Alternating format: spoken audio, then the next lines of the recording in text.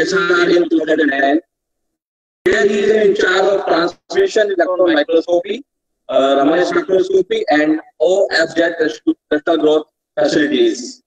His current research interests are electron microscopy, uh, Raman spectroscopy, carbon nanomaterials, carbon nanomaterials, crystal of crystal of functional materials, high pressure physics, and and nanoscience material science, uh, manipulation.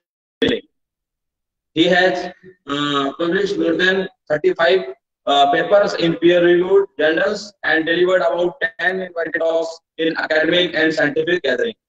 He also volunteered as reviewer for several reputed journals published by Elsevier as well as Springer. He is also a member of uh, Material Research Society of India, MRSI, and the Electron Microscopy Society of India, EMSI. Now, I would like to request to sir, please start your talk. Thank you, Dr. Javed Singh, for a nice, nice introduction. Good Thank afternoon brother. to all. Uh, just uh, how to share share this So you can share. Uh, present present now, no? yes. Present, present, present now. Are you able, Are you able to see? My presentation is visible, now? No. No, no, sir, no, no, sir. Not, not now.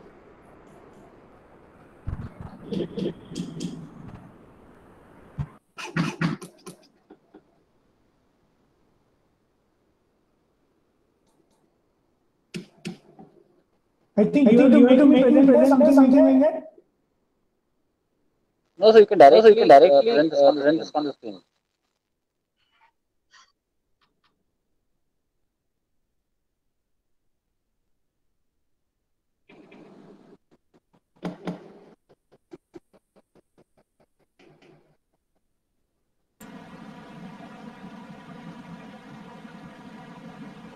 Cannot present. I mean, my presentation is open. My presentation is open, but uh-huh.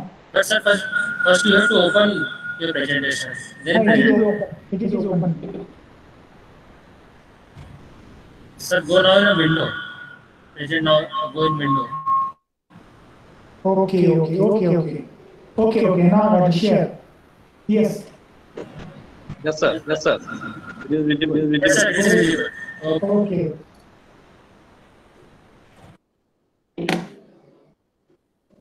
Yeah. Thanks again, and um, I'm very glad to interact with uh, all your august gathering and audience. And uh, Dr. Javid also asked me that uh, there'll be wide audience, including chemistry and chemistry and biology.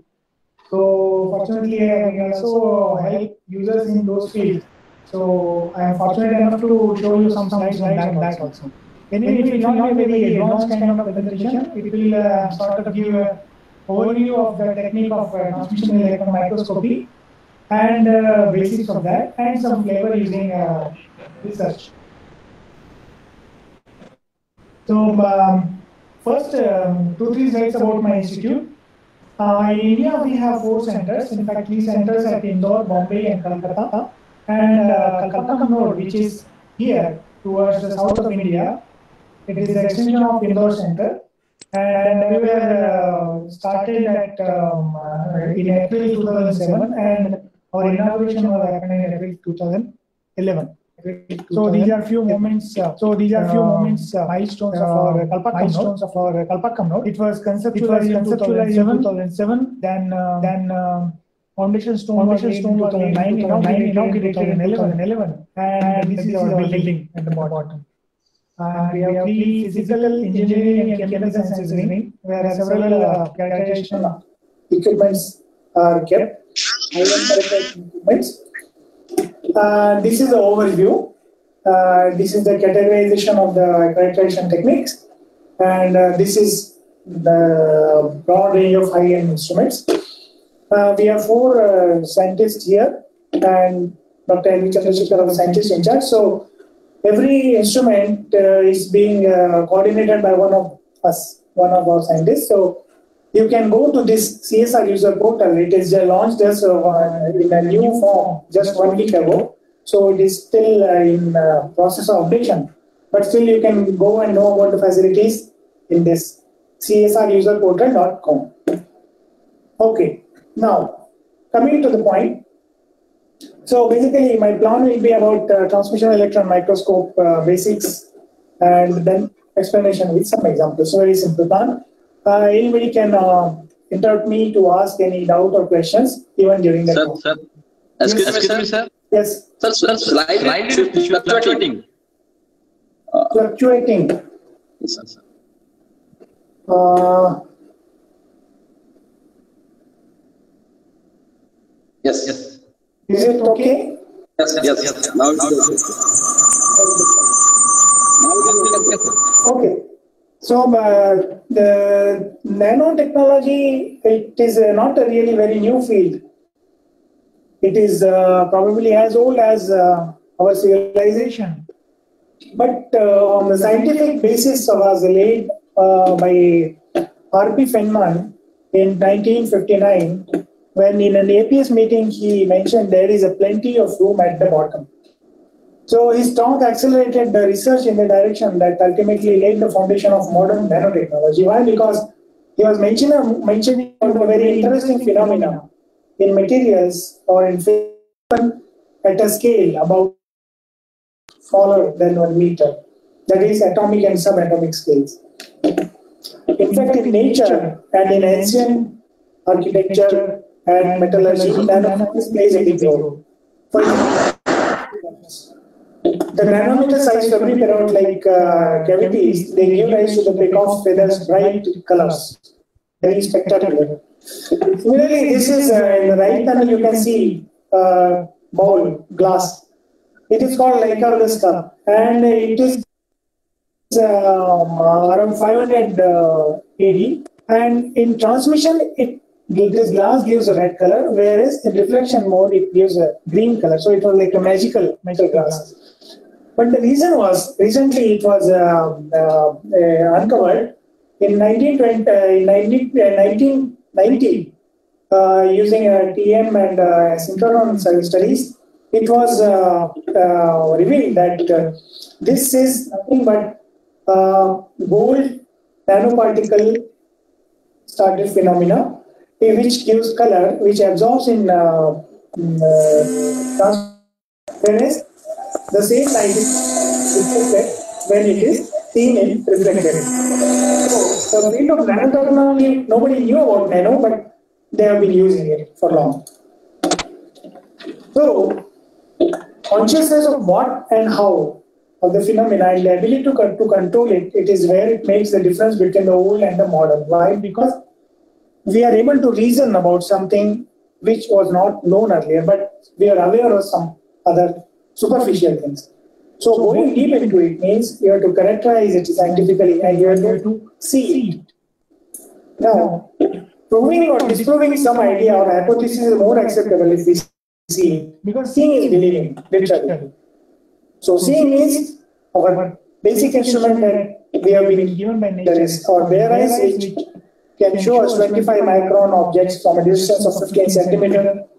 Then we came to simple microscope like convex lens which can uh, magnify so that we can see the objects up to 5 micrometer. Then come compound optical microscope which can go down to the diffraction limit of 300 nanometers or 0.3 micron. But beyond that, we don't, we not have anything. So, nano, which is uh, of the order of 10 to hundreds of nanometer, is a dark world using these above instruments for human eyes. And the reliable technique which sheds light in this dark nano world at the bottom of the lens scale is transmission electron microscope and similar many other techniques. In fact, uh, TEM is so important in material science and research. Uh, excuse me, sir. Yes, Uh, sir, slide is uh, fluctuating again. Can you share? Can you share again, sir? In fact, I am using a PDF. Okay, I will share again.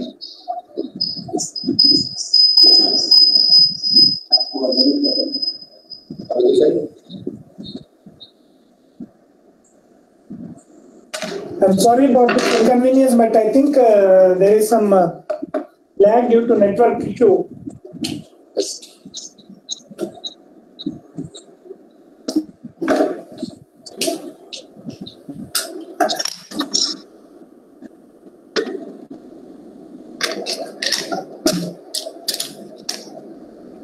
Now is it okay?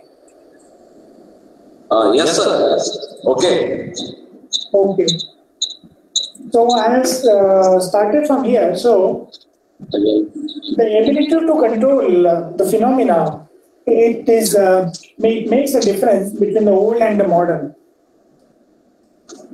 And in that, the bottleneck was the lack of viewing technology. In old time, hello, Yes, sir. Visible? I mean, presentation is fluctuating still. Yes, sir. Again and again fluctuating.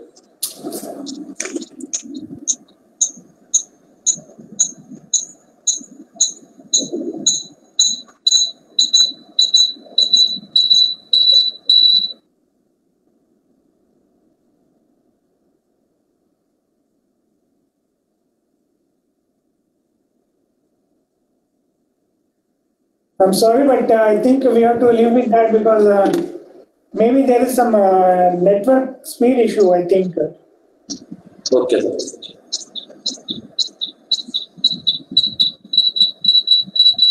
This slide okay?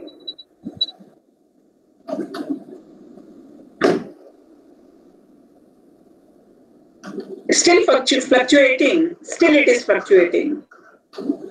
Yeah, ma'am. Actually, it is uh, out of my control because I think uh, there is some uh, network delay issue. Uh, so I will wait uh, per slides for some time and. Uh, I mean, it is not in my control. So I'm sorry for the inconvenience. Okay. Okay, this slide is. uh, Okay, sir. Please, please continue, sir. Okay, this slide is stable.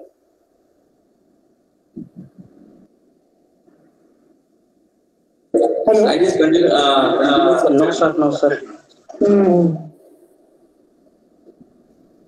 Sir, I think you can share the slide to the organizing team and they can run.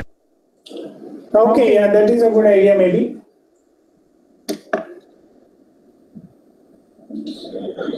Okay, I will mail to Dr. Javi Singh then. yes, sir. Yeah. Okay.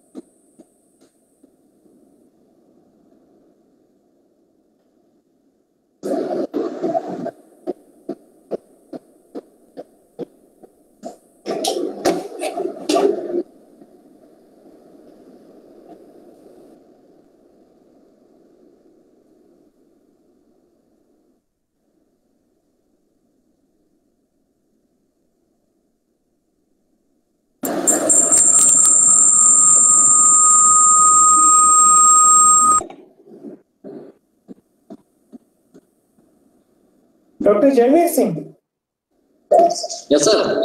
I emailed you those slides. Okay, sir. Uh.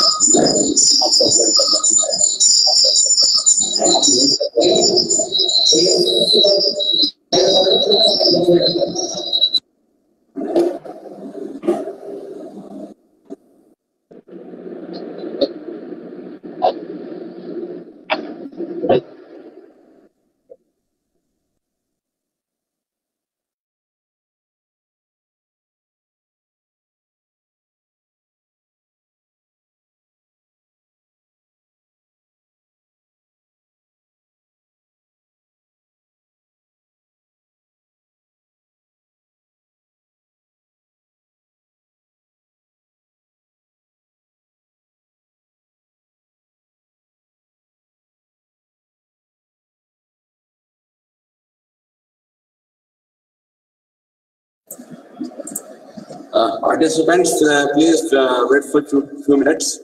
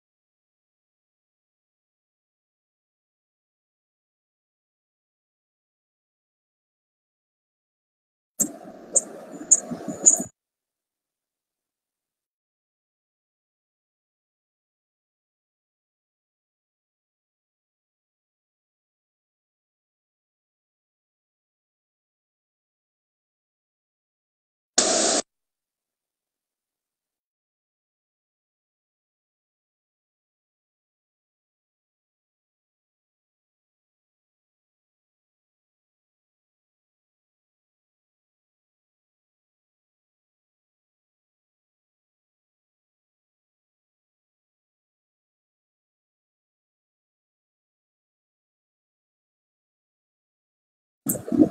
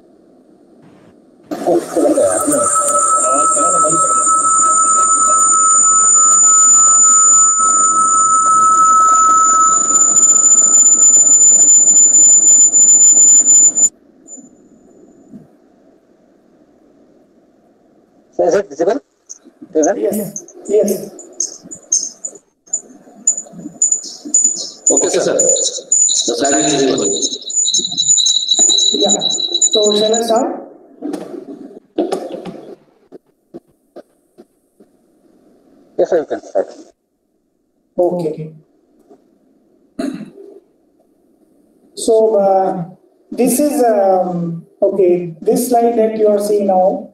Okay, you tell me when you stop from uh, this slide you want.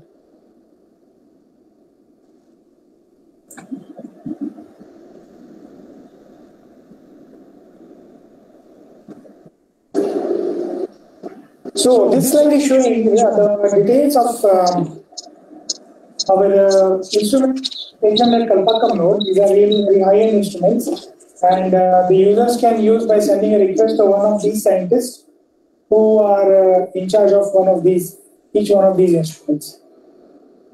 So uh, you can go to this uh, csruserportal.com website and you will know about the uh, facilities here. Next slide, please. Next, please. Uh, thank you. So the plan of the talk will be just uh, very simple. I will tell about transmission electron microscopy, some basics, and uh, then uh, we'll explain with some simple examples. Next, please.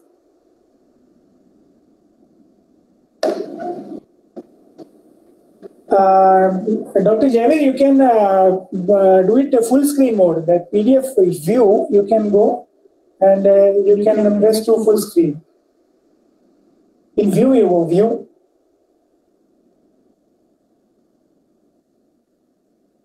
Is it okay? Make it full screen. Yes, sir.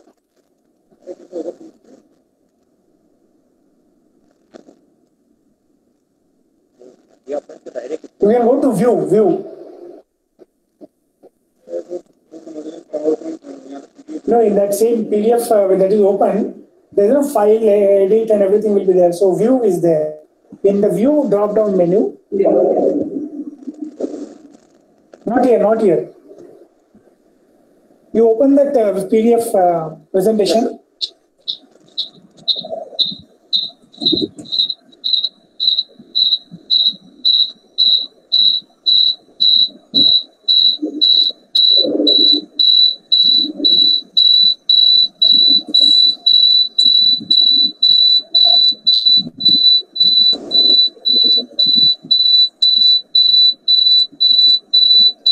Yes, Uh, view. view, Yes. view, uh, full screen.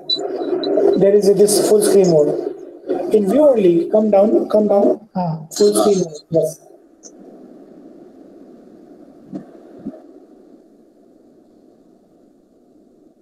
That's it. Yes. Yeah. So you can come to that slide, please. Next. Next. Yeah. So, uh, yeah. So the nanotechnology, it is uh, in fact uh, not a very new field, except that um, we started to learn about it scientifically from the very this century, uh, from uh, when almost uh, R.P. Feynman mentioned about it. There is a lot of room at the bottom, and why? Because we are not able to see the things, because seeing is the believing. So next. So the bottom bottleneck was uh, the lack of viewing technique in old times, nobody knew that some phenomena are due to small things or the smallness of the material because it was not possible to see at that narrow scale. Okay? Because ultimately seeing is believing. Next. Yeah. Next, please. Because proving or disproving any idea or hypothesis is more acceptable if we see our eyes can show you 25 micron objects. You can use simple convex lens, then you can see 5 micron objects. You can use compound optical microscopes, and you can nowadays go down up to the diffraction limit of 0.3 micrometer. But beyond that, light cannot help us. Because the nano world is a dark world because of that for human eyes, and a reliable technique which sheds light in the dark narrow world at the bottom of the length scale. It is only recently invented. Recently means it is uh, in uh, 1940s or 50s. The transmission electron microscope and many other techniques started evolving. Next, please.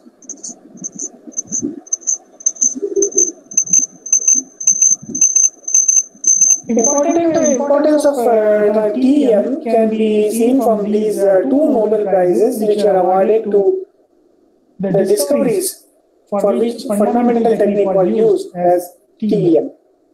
One is uh, 2011 Chemistry Nobel Prize to uh, the discovery of quasi crystals, and uh, then in uh, it was not the Nobel Prize the second one, but it is very important discovery of uh, uh, carbon nanotubes in 1991. But later on, when graphenes were discovered, and it won the Nobel Prize in 2010. So um, that is the importance of viewing and believing, and its importance in science and technology. Next, please. So about uh, transmission electron microscope, after its evolution, it has branched to so many other uh, classification or uh, so many uh, variants have been formed, and they have their own advantages. But typically, two classifications based on two uh, based on the technology, you can uh, use uh, two classifications. One is conventional TEM, which is electron wave or it is uh, like a light microscopy. And the other one is scanning TEM or STEM, which we say, and it is a scanning probe microscopy, which is in which uh, electron probe of almost one angstrom or below one angstrom size is formed, and it scans the sample. And for every pixel, data is collected and reproduced in the computer. I will tell you the basics afterwards. Then the applications of TEM mainly in two cat- categories: structural characterizations using microscopy and diffractometry, and an analytical calculation that is the chemistry and atomic modeling information using energy dispersive X-ray spectroscopy (EDS) or electron digital spectroscopy. And when you combine all these stuff, so TEM becomes a unique technology, unique technique which gives applications in all these fields. And the most important thing is that all these characterizations can be done at really very, very small scale, where no other technique can be parallel with. So this is a long list. There are so many other lists. It is not exhaustive. You name it and you can uh, do it. In fact, directly biology also, this is uh, TEM is used, and um, the frozen samples can be viewed. I never worked on them, uh, one worked on it, so I'm not able to tell much about that. But that is an important field. Next, please. So, starting from the concept of magnification and resolution, because magnification is at the heart of any microscopy technique. But resolution is a more important thing which has to be conserved for any meaningful magnification. This example tells you if you start from the panel A, which is some object at some magnification, you can see the pixel size. This is a digital digital uh, pictures. You can see the pixel size, and uh, it makes some sense. The picture is clear. Okay. Now, the thing is, if you go to diagonally opposite the F panel, the magnification is same for the same object, but the pixel size are reduced, so much reduced. Okay. So the same pixels you stretch left and right, and you try to make magnific magnification, but it doesn't have any meaning. Okay. So the meaning or information is lost. So information should be preserved, and it is preserved when your resolution is correspondingly good, and with corresponding to that resolution, only you can magnify, or in fact you can usefully magnify. usefully It all is So boiled, it boils all down to the is boiled show boils down to the ability to show correctly. And there is the the any microscopic heart of the any which is the microscopic objective technique, lens which is the or the objective lens or the lens which will make the which will probe make the form. probe. Next, please. Next, please. So how is the resolution determined? So, how is the resolution determined? Resolution is basically the ability to ability show to show distinct objects objects correctly. Huh? So basically, So basically there is uh, some physical phenomena of uh, disk and diffraction is in the heart. So there is on the left So side. there is uh, on the uh, left there side, object, uh, there is an which is an object, ideal object, which is an ideal shown at object, the which is below. shown at the There is a below. square There is a square uh, shape, rectangular uh, shape, shaped uh, profile, intensity there profile, are sharp and there are sharp edges But to it. when actually you when actually see the you see object the with some object with some light wavelength lambda, then what happens? Diffraction what occurs happens? from the side. occurs the diffraction makes The diffraction the makes sharp edges into a slanting face. Okay. sharp So edges actual into a slanting face. like Okay, as it is, so the okay? actual object Depending on it doesn't look like as it is. it Okay, depending on the resolution. Now, it will give you blurred edges. when Now, these two objects, when these blurred edges, when these two objects, uh, suppose similar objects, they are uh, proximate, then you can distinguish between them, you or you can distinguish distinguish between them, or you cannot distinguish between them. So the wings that are formed, if they are overlapping to then their half the two maxima, objects then CNS will be visible the as the two same. objects Ah, with so CNS the will be limit of diffraction. visible as the same. Ah, so that is the of limit of diffraction and it depends on the wavelength So of the light that you are using. what Next, is that? So typically, Uh, what is that? that the uh, rule of objects thumb is that you can see the objects Of you the can order see of the of the order of the size, then the light the you are using wavelength of the light you are using so to see. Okay, so that's why the diffraction limit for optical microscope is typically nanometer, 300 the- nanometer, which is the smallest wavelength light which is the smallest wavelength light that you can see. see smaller and smaller So in order to see smaller and smaller things, to smaller and smaller reduce the lambda or the wavelength to smaller and scales. Okay. Now, X-ray is also photon. X-ray So what can photon wavelength is of the order of one angstrom. So mean, can you see because atom? the X-rays- Huh? I mean, X-rays because there are no the X-rays, lenses. for X-rays there are no When you go to electron, which when when you go to electron, and there is a formula here which where the when of accelerated, the electron is defined. And there is a the formula here. Voltage V.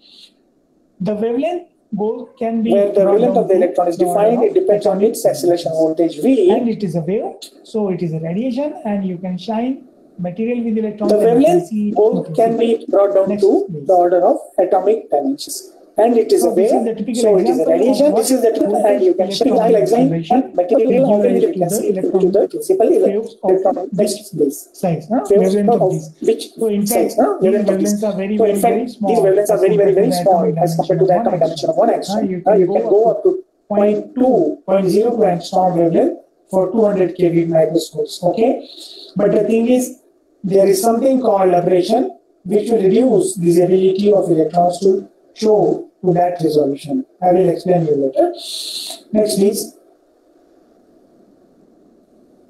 I already mentioned the X-rays cannot be used even if uh, they are highly, oh, so much used to uh, determine the structure of materials by diffraction. Okay, because in the process of forming magnified images, the diffraction pattern has to be convoluted, and then only it will form a large or magnified image. But there are no lenses for X-rays. But diffraction can happen anywhere. So that's why X-rays are used. But if there are someday, there will be someday an X-ray lens, then all the TEMs will be useless. But fortunately, this is not that day. So we'll forget about X-ray now and continue with electron. Next, please. Okay, this is the basic flow chart of characterization. You have a probe which will extract information from a specimen, and that probe has to travel through the environment. So the interaction of environment is also important. You cannot be forget. And then from the interaction of the specimen, you can see that colorful arrow, which means you have extracted some information, and those information we cannot perceive. So you have to use detectors and analyzers. Now, all these things, since TEM is highly, highly, highly instrument-oriented uh, technique, so at every stage there are some errors introduced and there has to be some trade-off maintained. Very importantly, the environment has to be in vacuum because electrons are highly interacting with matter. So in order to travel, the gas also can absorb them. So you should not have any gas, it should be vacuum. Everything should be in the vacuum. Next slide, please. Now, interaction with electron of the mat interaction of matter with electron will give you all these signals. So I have there are n number of signals, but the important signal that we routinely use for analytical and structural studies are these four. Uh, first, if you uh, shine from top, the bottom, whatever dielectric arrow is there, that is direct beam, which will make you TEM, regular TEM, which is called bright field image. Then you have some elastically scattered electrons, which will give rise to diffraction and dark field image. It is towards the left side one circle. Then you go to the right bottom, right side uh, bottom, inelastically scattered electrons. So there is some energy loss in the material and uh, that energy loss is equivalent to the characteristic uh, electron uh, electronic shells in the electronic energy levels in the material. So there is characteristic energy loss which comes in the electron energy loss spectroscopy. It is a highly demanded technology nowadays and its resolution is very high. Then you go on the top, top right, the circle, characteristics X-rays and uh, it is the X-ray spectroscopy by the same characteristic X-ray. It is called EDS spectroscopy. Next please. so these are the typical properties of the electrons. If you have 200 keV electrons, it is, its speed is about 0.7 of the speed of light and the current achieved is a few picoampere in a TEM and the beam size is a few angstrom and if you remove the aberration, if you correct the aberration, you can go up to below 1 angstrom also. And the nature is wave, its wavelength is 0.0285 angstrom and it is strongly interacting with the matter. Next please. Now, there is an analogy between the optical microscope and transmission electron microscope. And uh, all the objects which are there in a light microscope, everybody knows us, knows it. So you replace the light with electrons, you replace the light glass lens with the magnetic electron lens, and you remove the environment, you bring it to vacuum, and everything else is same. Huh? All the optics, all the physical principles are the same. And uh, right side, there is a picture of our uh, transmission electron microscope. Uh, so on the top is electron gun, which will emit the electrons. Then below it is condenser lens, which will make the which will make the pro pro electron beam or parallel or pointed. Then there is objective lens where the sample is kept. It will it is the most important lens in the microscope, any microscope, and the specimen is held in the objective lens itself. Then come below projector lens. Projector lens uh, is the lens which will project the diffraction pattern or the image onto the screen, which is at the bottom. Next, please. Uh, the important phenomena is the diffraction, like X-rays. The same Bragg law is applied here. You know the materials are the grating. They are the plane, parallel planes, uh, lattice where the atoms are placed in any crystal material.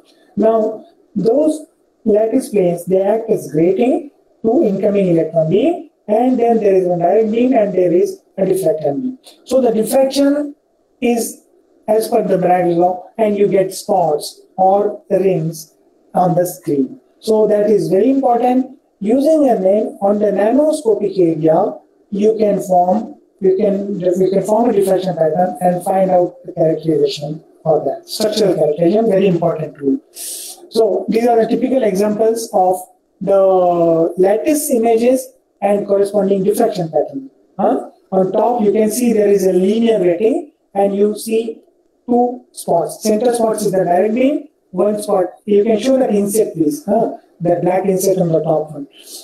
So uh, that corresponds to the lattice spacing. Below is a square kind of uh, grating and you can see the similarly uh, the corresponding diffraction pattern. Hmm? Next, please.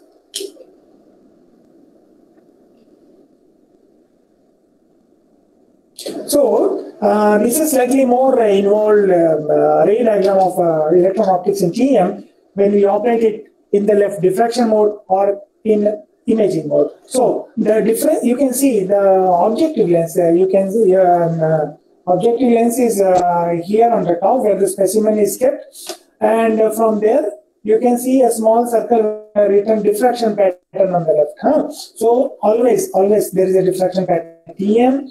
Now, if you come below, there is an intermediate lens. This intermediate lens at the center, you can see this selects either the diffraction pattern or the image. What should you project on the screen? So correspondingly, at the below, the a diffraction pattern will be there or an image will be there. huh? So there are apertures there in TEM, huh, which can be a- which can, you can select uh, which you can select a specific area of the sample or specific area of the diffraction pattern which you can analyze more deeply. Next, please. Yeah, I was mentioning about uh, objective lens, which is the heart of the microscope, any microscope, and any like any lens, magnetic lenses of electrons are also not perfect. So, what do you mean by perfection, or in scientific language, you call it aberration? Any lens which is aberration. Aberration means it doesn't doesn't uh, uh, it doesn't treat all the rays of light throughout the throughout its aperture. Okay, means uh, if you see in the below image on the top, the parallel beam is coming from left on the lens, and the lens is focusing them and to sharp point, as you can see in the right. Huh? So this is an ideal case. But the, in reality, the beams which are the light beams, the rays which are coming towards the edge of the lens, they are focused more sharply. So they will sharp before the rays coming from the center. So distribution of this. Okay. So at a plane where you are recording, where all the rays were supposed to focus, it will not focus. So there will be distribution and there will be blurred point here, right? Which is the sign of aberration.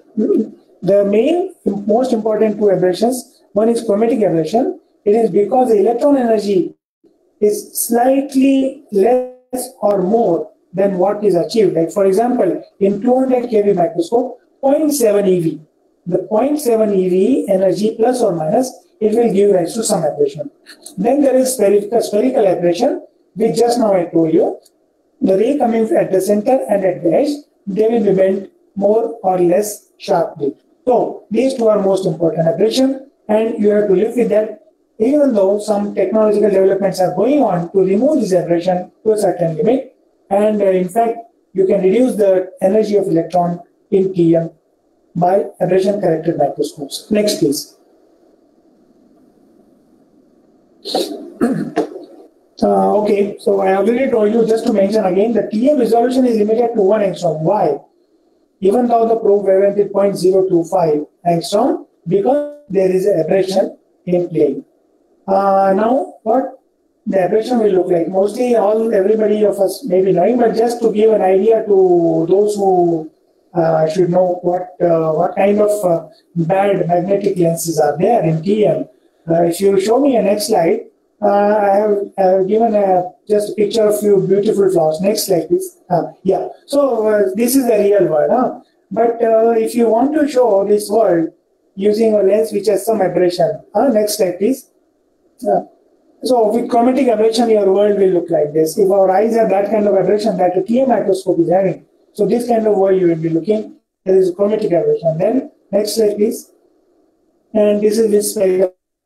You can understand uh, how bad the magnetic lenses are there and how much scope is there still for improvement in this TEM technology. Next, please. Yeah. Uh, coming to the next two uh, technology, um, um, sorry, the technical type, STEM, scanning transmission electron microscope, how it works, and the, about the electron spectroscopy, I have given this example. You can see at the right side top, there is a lattice, or this is a representative of sodium chloride lattice. You can see that there are sodium and chlorine ions in arranged in lines. Okay. Now this crystal I can align in certain direction and you will see that there are columns. Okay. Columns of sodium, sodium, sodium, and columns of chlorine, chlorine, chlorine, or a column having both sodium and chloride also. So if you see towards the light, uh, towards side, where I have written a specimen and there are you can see blue and yellow circles. So these represent the columns of those atoms. There can be different combinations. Okay. Now you go up where I am showing electron source. So electron source will start from the top. Electrons will start top, and there will be probe forming lens, and it will make a very sharp, very fine probe of uh, typically say one angstrom. Now I will make it scan along this specimen pixel by pixel, pixel by pixel, pixel by pixel. Okay. Then some signals will be generated and those signals will be a function of what atomic column the electron will be seeing. Now, after the transmission from the sam- sample, you can come down. There is a blue big disk, huh, which I am writing, I am written here annular dark field detector, which is hollow at the center. There is a, this is a hollow at the center, okay, disk. Some electrons will transmitted through this and some electrons which are scattered, they will hit the blue disk. Huh? So that electrons that hit the blue disk, that those are scattered electrons. Now scattered electrons in earlier times they were considered to be useless, but later on that the scattered electrons have very rich information about what kind of atoms they are scattering to. Okay, the scattering is typically of the from the z square, typically that kind of thing. Okay, where z is the atomic uh, number, and then that information can be processed during computer. And if you go toward the right, I have shown a STEM image. Okay, so when the sample is there, if you see the STEM image, when the sample is there, it is scattering. So the light is there. So the sample will look white. And all the other area through which there is no scattering, it will look black. Okay. So you can see very bright, very sharp contrast is there. The image is very, very clear. Okay. That is one advantage of STEM imaging. Now you come to the red ray. Okay. The electrons which are transmitting through the hole well, and they are going to the energy filter. So this is energy filter, which is a magnetic filter. So different energy electrons will bend at different uh, curvature, and those will be analyzed using camera. There will be camera capture will be cap camera will capture both and computer will analyze, and it will give you the spectra, which is called electron energy loss spectrum, and the transmission electrons will also give you the TEM image. Now the TEM image is where the electrons are stopped, where the material was there, electrons are stopped. So the material will look black. But from where the electrons are transmitted, that area will be glowing. Now you can see STEM image and TEM image. There are two differences. One, the contrast is opposite. Huh? STEM image, the material is bright, and TEM image, the material is black. Okay? So the more dense material, more black is there. And second thing, contrast is better in STEM image. Now, come back to this uh, center part of this uh, center top where I'm showing EDS spectra. Okay, the electrons interacting with the specimen, they are generating characteristic X-rays, and those characteristic X-rays are the characteristics fingerprint signature of the element, and those elements spectra are recorded, and that gives you the chemistry. So, two ways. EDX gives you one analytical and uh, EELS will give you another analytical technique. Next, please. One typical uh, difference between these uh, analytical uh, spectroscopy technique of EM, TEM is uh, the resolution basically and the ability for the intensity recording. Now, on the top panel, top right panel, purple uh, spectra you are, purple background spectrum you are seeing, it is electron energy loss spectrum.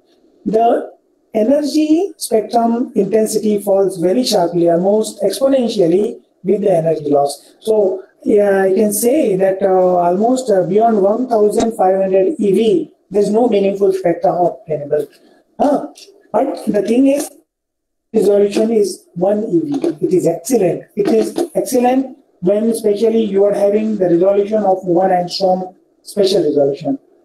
But below if you go, the EDS spectra its uh, spectrum yield is good and uh, you can record the spectra up to 20, 25,000 EV also, but the energy resolution is low, very poor, 125 EV. So only uh, gross information can be obtained by EDS, but more fine information, even about the valence band and chemistry, can be can be obtained more precisely by EELS spectrum. Next, please.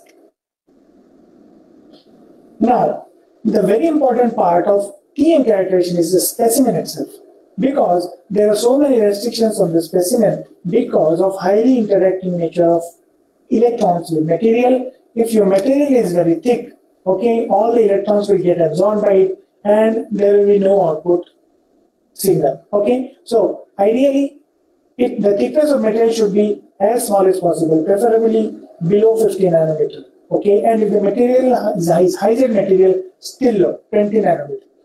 Vacuum compatible material should be there because it if you put a material which is uh, evaporating, uh, which has evaporating uh, uh, components in it, the vacuum will deteriorate, it will contaminate the TEM, and uh, it will make so many depositions. So the vacuum uh, material should be high vacuum compatible. And importantly, it should be non-magnetic because there are two problems. One, magnetic material will go by, it will be attracted by the high magnetic field of the lens, which is of the order of 2 Tesla, and it will go and stick in the lens, the microscope will go bad. Second thing, the magnetic field itself will get uh, deformed within the specimen, the electron beam will go very crazy dancing uh, stuff in the specimen itself, and the resolution will be lost. You will not be able to record useful. There are different spec, uh, different TEM for characterization magnetic sample. So I'm not covering that topic. So next, please. Uh, just about how we deposit a material. Uh, bulk sample should be thinned to thickness below 20 and 50 nanometer by special techniques. And nano powder characterization is a bit easier because you can uniformly suspend them in alcohol by ultrasonication, very simple, and put a drop on a TEM grid. If you can see this right side bottom yellow, this is a copper grid which is covered with some very thin polymer material, and you put a drop on that. You dry it, you evaporate and dry it thoroughly, and then you insert in TEM. This is a TEM holder, the big stick kind of thing. It is a TEM holder, and you characterize it. Thank you. Um, next slide, next slide, please. Yeah, so some typical images, very quick images. Uh, these are two, three, and many layer graphenes. Uh, one user, um, uh, Parameshwari, uh, they have used. Uh, they brought us uh, these excellent samples. So towards the right, this is the low resolution image, and that uh, dotted circle. When we have did uh, high resolution imaging, you can see this uh, two two layer graphene, three layer graphene, many layer graphenes. Beautiful samples. Uh, next, please. Yeah, these are different typical materials. Uh, eh, towards the right, it is uh, the silver dendrite, and uh, in fact, single crystal dendrites. In the middle column, you can see the low resolution structure, low magnification. In the right side, the big panel, you can see high resolution. You can, I don't know whether you are able to see the lattice fringes, but throughout the sample, the lattice fringes are continuous. So it is showing that it is single crystal dendrite, not not uh, it is a growing proper growing from a single crystalline domain. Towards the left below, it is a below left there is a starfish kind of structure. No, uh, that is a silver nanoparticle with faceted growth. Next, please. Uh, you can see different uh, defect structure of the materials. Uh, left side, you can see multiple carbon nanotubes, its core, and uh, the bending defects in that. Right side, you can see indium oxide, single crystal material, and uh, you can see there are some defects here. You can see black, black spots here and there. Those are the defects. Uh, you can see the atomic level uh, things. Why studying these things are important? Because the structure and defects they are highly influential in determining the, determining the properties of material, mechanical, electrical, electronic, everything. Next, please. Yeah, these beautiful samples of iron oxide nanoparticles, niobate nanoparticles, and uh, particles themselves, they are making sugar assembly. It is like uh, you can, uh, like uh, atoms they arrange in the lattice. No, these are the nanoparticles so uniform in the size that they are perfectly making a hexagonal closed pack structure. Huh? So in, by, by TEM you can characterize, we have characterized these samples very beautifully. Next please. Uh,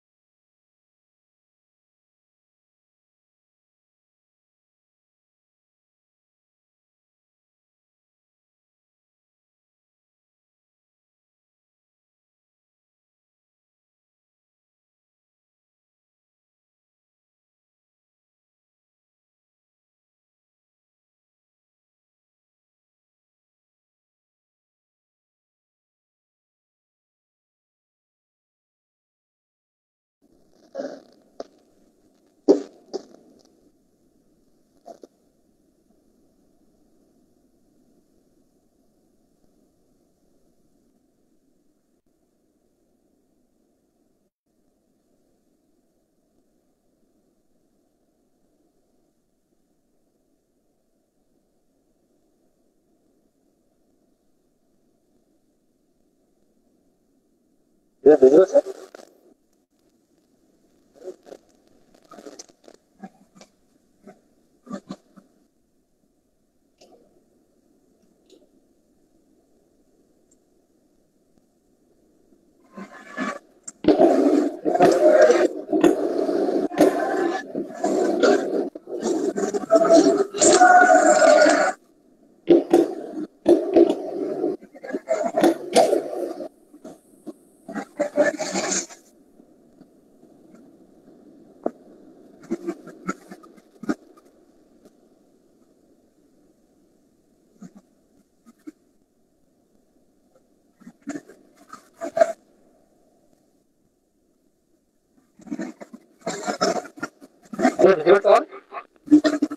Yes. Yes, it is visible.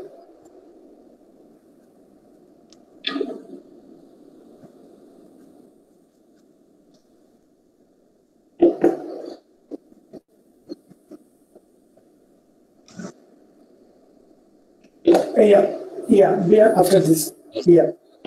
So these uh, structure uh, properties relationships are very important. Uh, so these uh, these are the iron oxide nanoparticles which are arranged in a uh, hexagonal closed pack structure.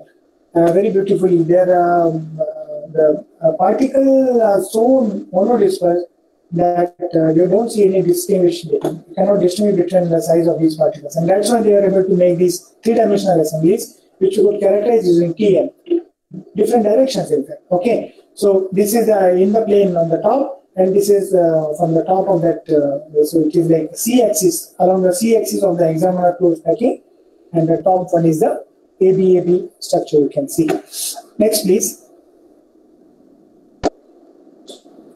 Yeah so you can also see the uh, the electron damage, you can do electron damage studies to the materials.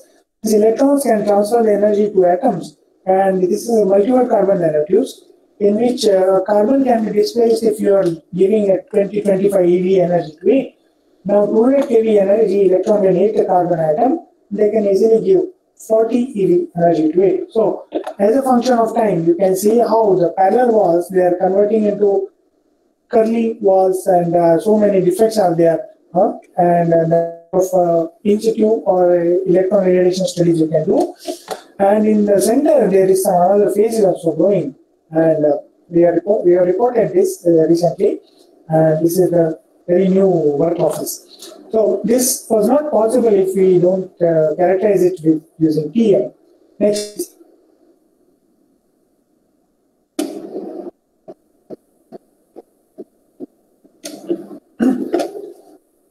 Another work that we have done is uh, we have changed. Uh, you see, the carbon materials are very interesting because uh, they have a lot of properties. Depending on the structure, the properties will change. And uh, these uh, carbon black particles, they are very small particles, and uh, you can see. So how the graphitization has to be changed because they are used in a few applications of conducting composite materials, conducting polymers and all. Uh, so uh, we wanted to improve, increase the graphitization because if we increase the graphitization, the conductivity will increase. So what we did is uh, we have uh, catalyzed the carbon black growth using ferrocene catalyst. Now iron is a catalyst, catalyst for graphitization. So in these amorphous particle in the top left corner, you can see the low magnification images and high resolution images images are here. So you can see circular around 20 nanometer size nanoparticles, and towards the right is the electron diffraction.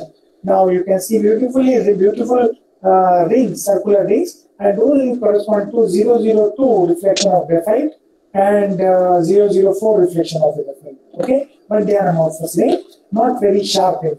Sharp ring means it is highly crystalline, It is not highly crystalline. Now, if you go towards the bottom row, now we have used ferrocene to catalyze the growth of carbon, these nanoparticles.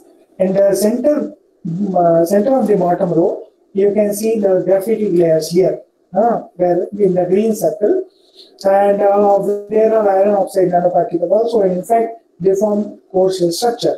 Around the carbon, uh, sorry, around the iron oxide core, the carbon shell grows, and at some places only there are high graphitization, high degree of graphitization and the diffraction pattern is strikingly different. You can see these rings, regular rings, huh? continuous rings.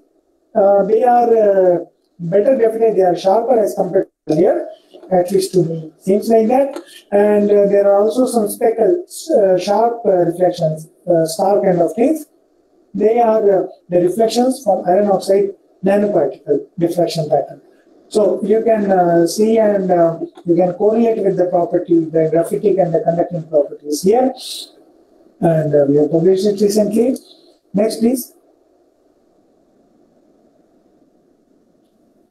The application of uh, this uh, TEM, it is also in single crystal, uh, single crystal studies. Uh, now, one user came uh, to us uh, when they wanted to know single crystal of uh, these uh, uh, perovskite uh, material CaFeO 2.5. Now, earlier reports have been reports have been there by uh, you used uh, by growing the single crystal in oxygen environment. Okay, uh, okay. There, there is a facility uh, with us to grow single crystal using uh, infrared image furnace, where uh, it is a contactless technique, and uh, this is a long rod. You can see uh, you can see the scale. No? uh, top of the scale and the left side there are rods huh? they are polycrystalline okay and uh, uh, in the center you can see those shiny rods those shiny rods are made by those polycrystalline now different environment used to grow those materials top one is oxygen then air and then argon. Then we have seen there uh, we have seen the uh, X-ray pattern or X-ray pattern. Characterize, characterize that those are the same materials, CaFe2 or 2.5 crystals. But at the below, we can see those TEM images, and you can see that oxygen grown and uh, oxygen grown materials, they don't have any defects in that. So very uh, parallel and defectless planes are there. So those kind of studies can be done. Next, please. This is an application of uh, spectroscopy. It is a, uh, showing the power of uh, electron energy loss spectroscopy. The earlier the two spectra I have shown, uh, where I have shown you the difference in resolution. Now here you can use that difference in resolution. See here, on the top left corner there is a black and white image where there is a blue circle on this. Huh? So this is a regular TEM image and uh, it is a gold copper thin film. You can see that yellow arrow. It is deposited on a silicon wafer. That is the, left part of the blue arrow you can see.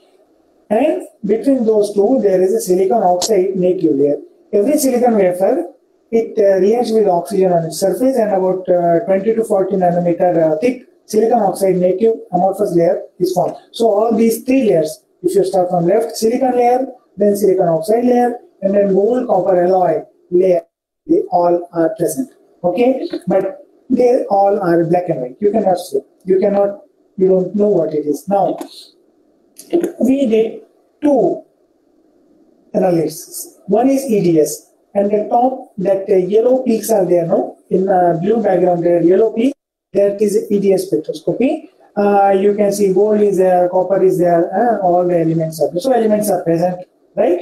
Now, I want to filter those images. I have shown you about energy filtering. So depending on the energy, the electrons will bend at different radius.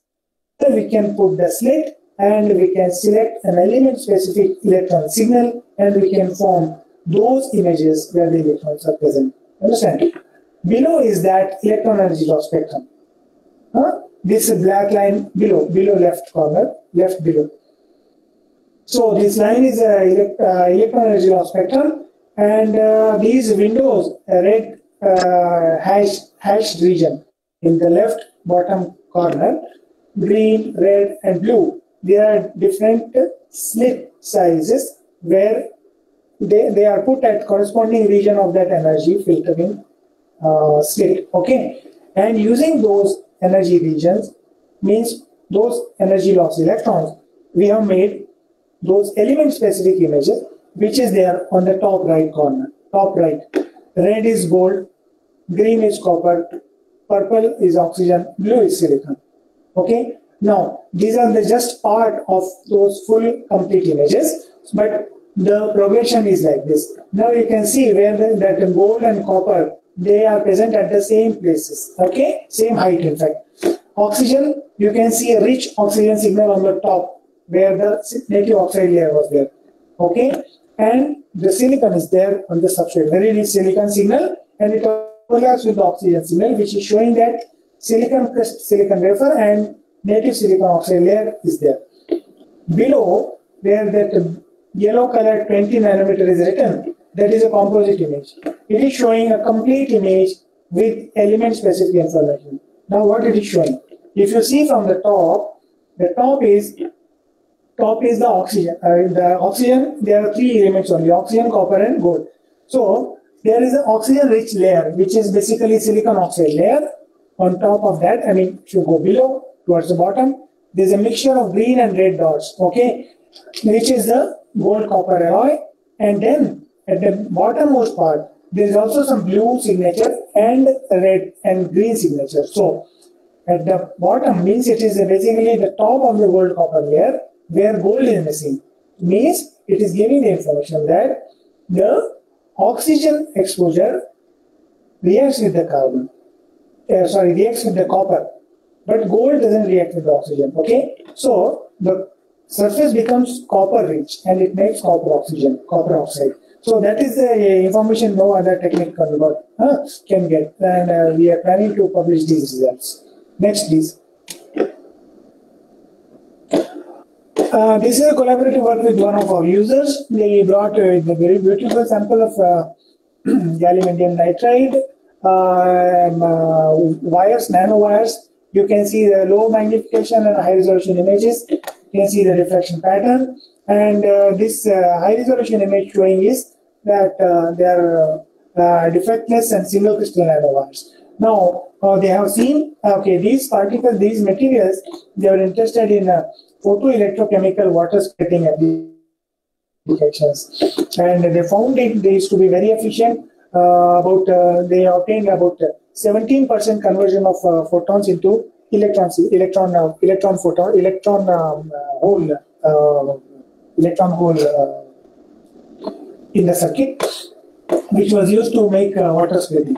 And the reason they found is that you can see there is these uh, different uh, peak fitting they are shown. So uh, this is a photoluminescence spectrum, and it gives very rich and diverse photoluminescence spectrum. And because of that, the absorption in the solar light is uh, happens in a very broad range, and it is very efficiently converted because the material is a single crystal nature. So there are very less recombination sites in the material itself. So most of the charge generated, it is given out uh, to the electrolyte, uh, electrolyte and this interface, and the photoelectrochemical water splitting is achieved. Uh, you can see in this uh, graph that blue spot is there. So they are showing its photoluminescence of that material. Next, please. It is published in uh, Journal of Power Sources. Uh, yeah, this is another application point of view uh, which is very interesting for the chemistry. In fact, nuclear chemistry, radioactive chemistry. So many they are uh, working for a very efficient disposal of nuclear waste. Now, nuclear fission reaction uh, produces so many of the uh, elements. One of them is strontium. Now, strontium is highly water soluble, so very slight exposure to water, any leak, it will, uh, it will, it will, uh, it will leak into the environment. It will be very hard to, very hard to separate from there. So, uh, from those water solutions, if uh, there are some materials you can specifically absorb those strontium ions, then it will be very useful.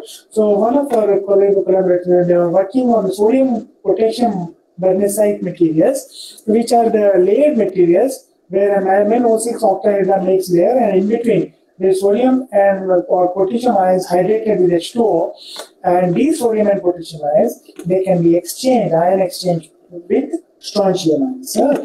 Now, they have performed these uh, studies, including XRD study, the uh, radiochemistry studies, and uh, one, uh, all these studies were used, were performed um, by natural isotope, okay, which is not radioactive. That is very important because uh, we don't uh, perform any radioactive measurements. We don't have those facilities.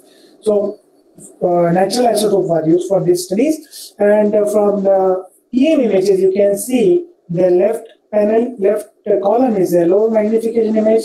The center column is a high resolution image, and the right column is diffraction pattern. Okay, so the uh, the center column you can see that there are uh, lattice fringes are there. So these are the particles of this birnessite material, uh, and the bottom two images, bottom two columns, uh, bottom two rows are strontium ion exchanged these birnessite particles.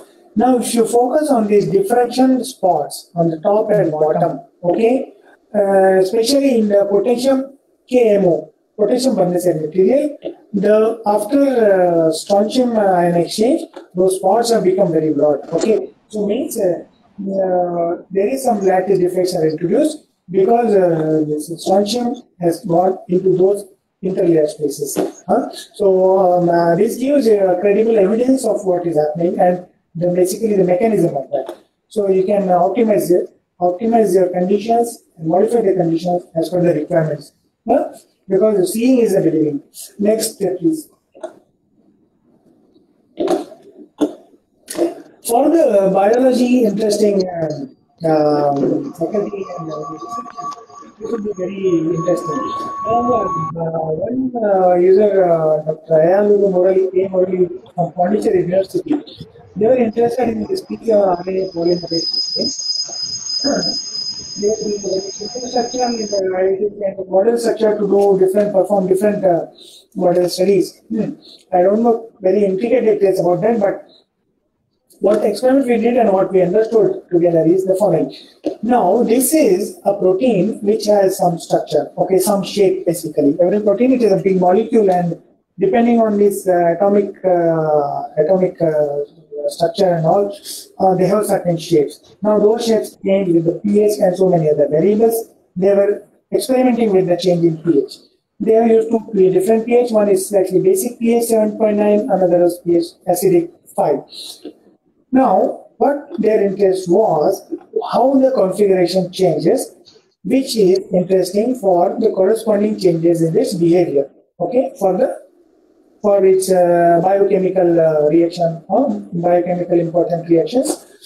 Now, what they perform is they perform molecular dynamic simulation using this GROMACS code and uh, molecular docking studies. Huh? So they have they have uh, they have calculated energy landscape uh, pattern for these at different pH levels, and there were two energy minima when it was pH 7.9 and at pH 5 only one energy landscape was there. So how it relates with the TEM. Now with that configuration which was arrived at by molecular dynamic simulations, uh, the configurations were uh, uh, also identified from the TEM images actually. they have made these TEM samples, stained TEM samples. staining was done at different pH values, and those TEM grades were seen in a low resolution electron microscopy images. Now this TEM image you can see, you can see the small, small four uh, rectangular red boxes. So those are the individual, those polymerase protein particles are there, which when I enlarge it, it looks like uh, a letter of a C letter, huh? or the crescent moon kind of thing. This is one of the configurations. Now these images record hundreds of images, okay, hundreds of images, and in the study they have used 5,000 such particles. And there was typically around 10 to 20, 10 to 20 uh, party useful particles in one image. So that much uh, manual level uh, it was done. And then those images were fed to a, single, uh, a software, single party analysis reconstruction software. And they have identified these uh, six patterns, okay, six, configura six configuration of those particles here. And by those, uh, uh, this thing and the comparison between the molecular dynamic simulations, they have arrived to, they, they have evidence, they have got the evidence that this kind of thing uh, uh, this kind of configuration changes happen at those different pH levels. Okay, so that is uh, published in scientific reports. Uh, next, please.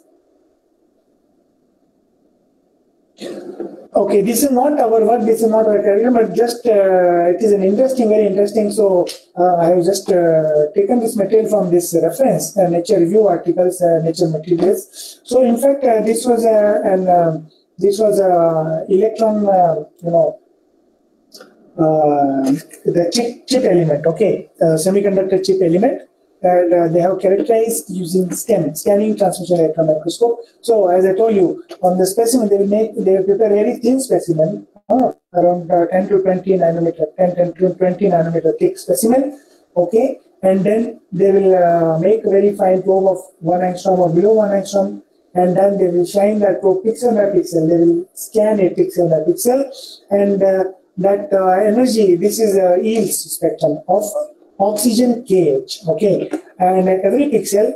Now this is the the data of uh, this line, that green circle. No? Around that line, that spectra are shown here. How the oxygen signals are changing. So where is the oxygen? Where is not the oxygen? You see here, they at the below, at the bottom, there is silicon substrate the, where the oxygen signal is negligible. Okay. Then as you go up, up, up, up, there is SiO2 layer. The SiO2 layer, you can see the oxygen signal is very prominent. Okay. And then beyond that, there, there this is the SiO2 SiO2 uh, gate, huh? and uh, uh, this then, uh, sorry, amorphous silicon, it is a gate uh, element, and uh, that is, again, you can see on the top, there is no oxygen. But you can see here that during the transition, how the oxygen concentration is changing. There is no abrupt change, okay? The, the center to scans the center two points. There are there is a lot of oxygen, and then slowly that uh, interface is converting into pure silicon. So correspondingly, correspondingly, the oxygen concentration is coming down. So these kind of interesting studies can be done. Uh, I think I have come towards the end of uh, my presentation. Uh, next, please. So, in conclusion, basically the TEM enables us to see at a small scale, thereby enabling us to understand and harness the benefit of the physics at a small scale. And uh, this also helps in further pushing the limits by making the characterization technique and manipulation technique better because we get better insight of it. Because seeing is the delivery. Next, please. So the uh, beyond that, uh, if you are anybody of you are interesting uh, interested to use the facilities, I will be happy to help you. And no more, you can go to our website. Uh, we have several centers, and all those centers have uh, links to this www.csr.ids.in. Now, thank you very much for uh, listening. Thank you, sir. Uh, thank you, sir. You explained the principle of TEM uh, from the very beginning, and that was very nice. Uh, you also explained the condition for the specimen, uh, and also explained the application of TEM in the different field of science. Now, uh, participant can ask questions. Any question from the participants? I have one question. Can I please? Yes, ma'am. Sir, there are certain defects like point defects and line defects and all. Can we detect all type of defects from TEM? Um, mostly, point if you see in uh, uh, conventional TEM, point defects are uh, very difficult to uh, difficult to obtain. However, the dislocations that you can see, so the, they are the form of uh, say uh, extended point defects, you can say. Those can be easily characterized, and in fact, uh, materialists uh, they can uh, routinely characterize them. Uh, yes, line defect definitely yes, uh, and uh, yeah. So several kind of defect you can characterize. Okay, thank you. Sir, one, uh, one question is, uh, is it possible to do TEM or HRTEM analysis for the magnetic nanoparticles? Uh, it is uh, uh, very difficult. It is difficult, and in fact, uh, we don't do here because of the given problem. No, because we use a lot of samples. So if you put nanomagnetic nanoparticles, so what happens is slowly they go and they can deposit in that magnetic poles. Okay, so they will remove the pole edge uh, definition. Huh? So slowly your uh, resolution goes poor and poor and poor. And it is very difficult to clean. Very very difficult because nanoparticles and microparticles they don't just remove like that. Okay, sir. Uh, any other question People, people do, but people do, people do study. There is no problem as such. I mean, uh, those who uh, those who choose they study, but in our center we don't do it. That is the that is the information. So many other people they do. Right? Okay, sir. Any other question from the participants? You can uh, uh, write in chat box also.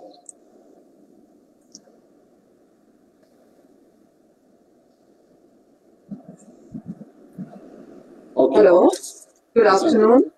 Yeah, it's a very useful talk. I would like to ask that is there any special precaution to be taken for the magnetic samples by uh, doing the TEM? Um, special precaution means uh, uh, those who do generally they, they may use uh, the, their uh, specialty grids are there. Uh, uh, they can use those grids, or the materials can be embedded into some resin. But again, there is a danger of uh, because the resin it sometimes gets overheated and it melts in this uh, high energetic electron beam, so chunks can come out. But yes, there are ways to do it.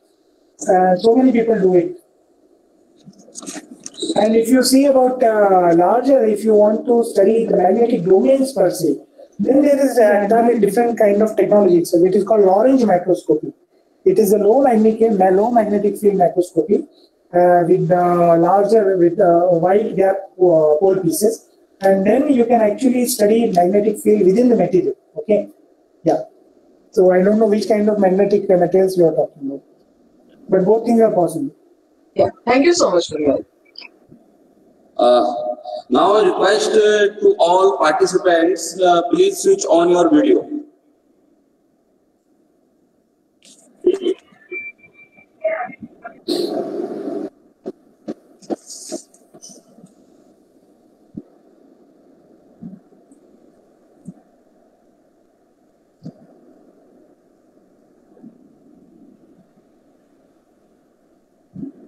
Okay, done.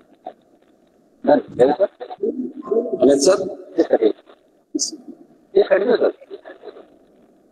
Okay.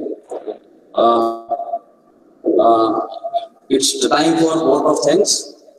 Uh, on behalf of the institution and organizing committee, I sincerely thank our resource person, Dr. G. M. Bhalerao sir, for being with us in this session and enlightening us with uh, his interesting topic. I express my heartfelt gratitude to our principal ma'am, all the heads, uh, participants for their presence and participation. My heartfelt thank to the organizing committee and technical committee for their whole in the success of this session. Thank you very much. Once again, thank you to all of you. Thank you very much.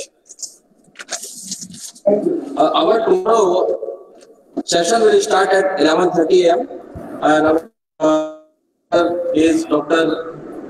Neeraj Chaurasia, Deputy Librarian, Central Library, IIT Delhi, and topic will be uh, e-resources for the academic excellence. And the last uh, evaluatory session is also scheduled after the first session of uh, the morning session. Thank you. Thank you very much.